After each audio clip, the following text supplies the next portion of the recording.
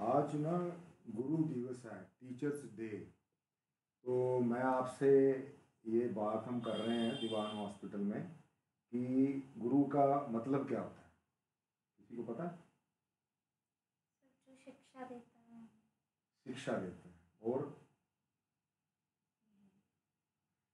सही और गलत सही और गलत सही क्या है और गलत क्या है? गुरु मतलब कि एक संस्कृत का शब्द है। इसमें दो चीज़ें हैं। गु और गु मतलब कि जैसे गहन अंधकार, अंधेरा। अंधेरा क्या है? अज्ञान का अंधेरा। ठीक है? जब आदमी को ज्ञान नहीं होता, मेरे को ज्ञान ना हो कि मैंने कैसे किसी को मरीज़ की बीमारी पकड़नी है, उसके क्या टेस्ट कराने हैं, उसको कौन सी दवाई देनी है, उसका कैसे ऑपरेशन करना है तो मैं सक्सेसफुल नहीं हो सकता।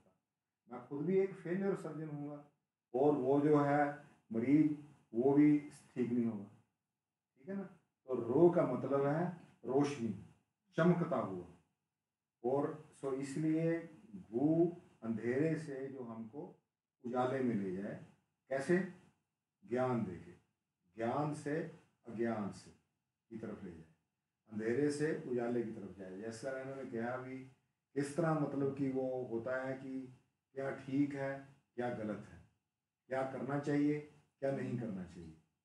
तो इसके अलावा आप कुछ कहना चाहते हो गुरु के बारे में? आज गुरु दिवस है तो हमको ये देखना है कि आज जो कल हो गया है, पहले ये होता था कि एक आश्रम होते थे, वहाँ पे मतलब कि गुरु मिलते थे। आजकल ये हो गया है कि किताबें हैं, फिर किताबें आई। लोग पहले मुँह से बता के बात करते थे, लिखना, पढ़ना कम होता था, फिर किताबें आई। अब किताबों की जगह ये आ गया कि आपके पास मोबाइल फ़ोन आ गए।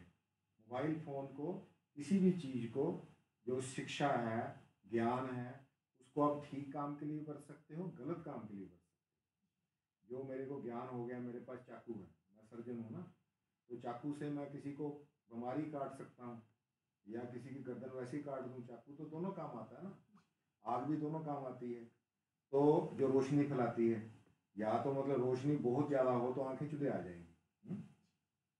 तो इसलिए वो आप अगर मोबाइल में से आपको सही टाइम पे अच्छी बातें सुनोगे और उसको फिर बाद में दिमाग दिया है भगवान ने, कान से, आँख से, सुन के, देख के, उसके बारे में आप सोचोगे कि ये क्या चीज़ है। और बार बार उस चीज़ को पढ़ोगे ठीक है ना, नित्य नेम पाठ करना रोज रोज वही पाठ करना। ठीक है? पाठ करते हैं हम।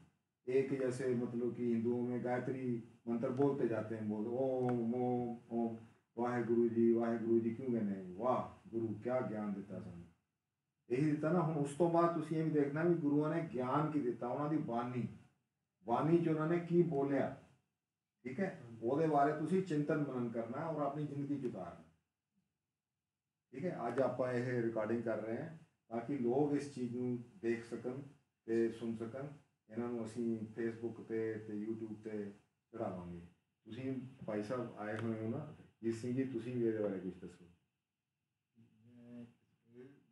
ਇਹ ਤਾਂ ਉਹੀ ਹੈ ਜੀ ਗੁਰੂ ਤਾਂ ਜੋ ਗਿਆਨ ਦਿੰਦਾ ਹੈ ਗੁਰੂ ਜਿਹੜਾ ਉਹਨੇ ਉਹਨੂੰ ਗੁਰੂ ਦਾ ਮਤਲਬ ਹੈ ਗੁਰ ਜੋ ਗੁਰਦ ਕਹਿ ਦੇਗਾ। ਗੁਰੂ ਦੇਗਾ ਗੁਰੂ ਗੁਰੂ ਟੀਚਰ ਵੀ ਹੋ ਟੀਚਰ ਵੀ ਦੇ ਸਕਦਾ ਉਹ ਧਾਰਮਿਕ ਵੀ ਗੁਰੂ ਹੋ ਸਕਦਾ। ਹਰ ਇੱਕ ਚੀਜ਼ ਦੀ ਚੀਜ਼ ਦਾ ਗੁਰੂ ਹੈ।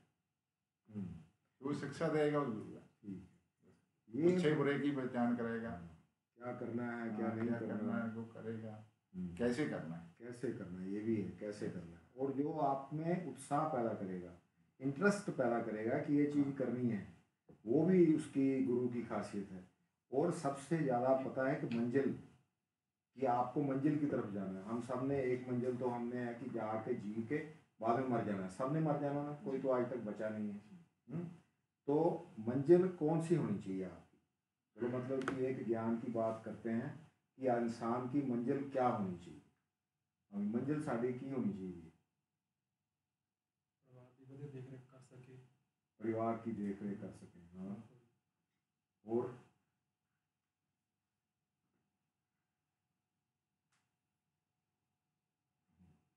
ये परिवार ना एक सोचने वाली गल है।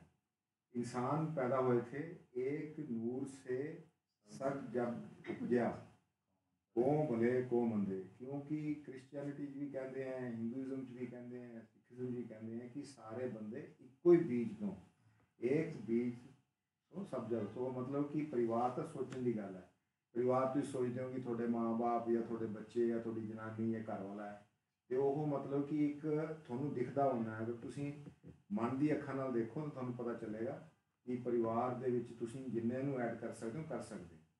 ਔਰ ਕੋਈ ਬੁਰਾ ਪੈਦਾ ਨਹੀਂ ਹੁੰਦਾ ਕੋਈ ਅੱਛਾ ਪੈਦਾ ਨਹੀਂ ਹੁੰਦਾ ਸਮਾਜ ਉਹਨੂੰ ਬਣਾਉਂਦਾ ਹੈ ਠੀਕ ਹੈ ਨਾ ਤੇ ਜਿਹੜੀ ਮੈਂ ਸੋਚਦਾ ਹਾਂ ਜਿਹੜਾ ਕਿ ਮੰਜ਼ਿਲ ਕੀ ਹੁੰਦੀ ਹੈ ਮੰਜ਼ਿਲ ਦੋ ਚੀਜ਼ਾਂ में होती है एक तो मंजिल होती है मतलब कि स्वतंत्रता जैसे आज आप बंदिश में हो आप अपने काम जब पूरे कर देते हो जिंदगी में जो जो भी करना है, जैसे मैं डॉक्टर हूँ, मैं अच्छे ऑपरेशन कर देता हूँ अच्छा इलाज कर देता हूँ तो एक टाइम पे मेरे को संतुष्टि हो जाएगी कि मैंने ये कर दिया है, अब मैं फ्री हूँ।